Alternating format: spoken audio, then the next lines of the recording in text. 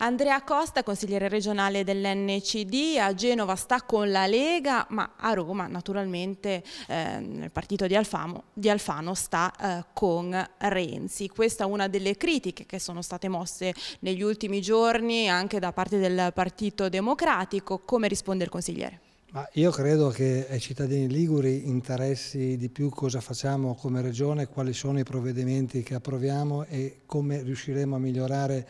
la nostra Liguria e come riusciremo a migliorare i servizi. Per quanto mi riguarda io in questi miei 23 anni di attività politica ho sempre fatto parte di coalizioni di centrodestra, quindi io sono dove sono sempre stata. In merito all'alleanza di governo, un'alleanza di governo che è nata all'indomani delle elezioni dove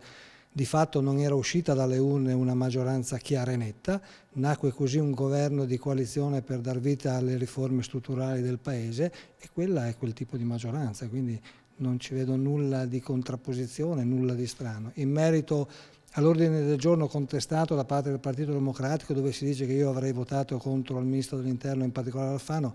evidentemente chi dice questo non ha letto neppure l'ordine del giorno, perché nell'ordine del giorno in merito alla sicurezza si parla di tutt'altro, cioè di quello che può fare la Regione per migliorare la sicurezza nella nostra Regione, quindi nulla in contrapposizione con il Governo. Quindi non c'è contrapposizione tra Roma e Genova? Ma da parte mia, ripeto, ho ricevuto i voti da molti liguri per cercare di svolgere al meglio il mio ruolo e sto portando avanti il mio dovere, quindi quando mi sono candidato non è che ho fatto cambiamenti in corsa, mi sono candidato in una coalizione di centrodestra e faccio parte di una coalizione di centrodestra.